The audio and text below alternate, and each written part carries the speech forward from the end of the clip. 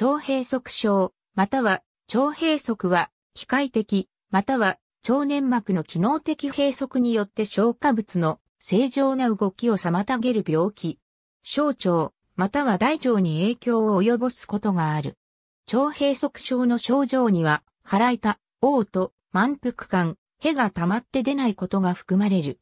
急性の激しい腹痛による入院の5%から15%が機械的な閉塞が原因である。腸閉塞症の原因には癒着、ヘルニア、腸粘点、子宮内膜症、炎症性腸疾患、中水炎、腫瘍、大腸憩室症、虚血性大腸炎、結核、腸重積症がある。小腸の閉塞はヘルニアによるものがほとんどであり、大腸の閉塞は腫瘍や腸粘点によるものである。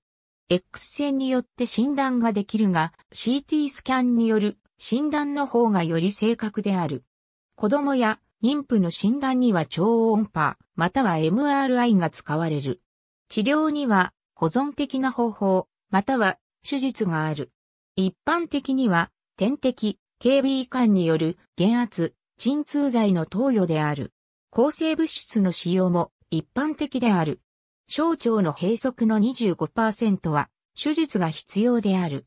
合併症には肺血症、腸管虚血、胃腸先行がある。2013年には約250万ケースの腸閉塞症のうち23.6万人が死亡。男女とも等しく影響し、年齢関係なく起こり得る。